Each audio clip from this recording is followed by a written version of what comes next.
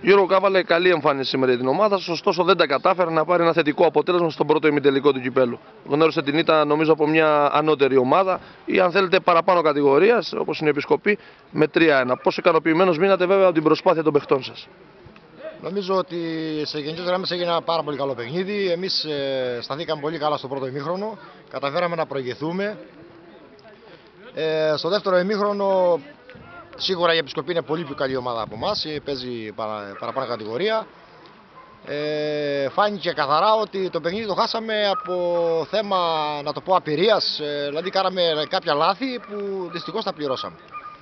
Ε, ε, δίκαια η νίκη της Επισκοπής. Εγώ αυτό που ζήτησα από τους ποδοσφαιριστές μου ήταν μόνο και μόνο να διασκεδάσω το παιχνίδι. Είναι χαρά και τιμή για μας να παίζουμε με τέτοιες ομάδες. Από αυτά τα παιχνίδια οι ποδοσφαιριστές το μόνο πράγμα που κερδίζουν είναι εμπειρίες και τους βγαίνει στο, για να βγει στο πρωτάθλημα μετά. Ε, νομίζω ότι σε γενικές γραμμές ε, είμαι ευχαριστημένος από τους ποδοσφαιριστές μου και γενικά από το παιχνίδι.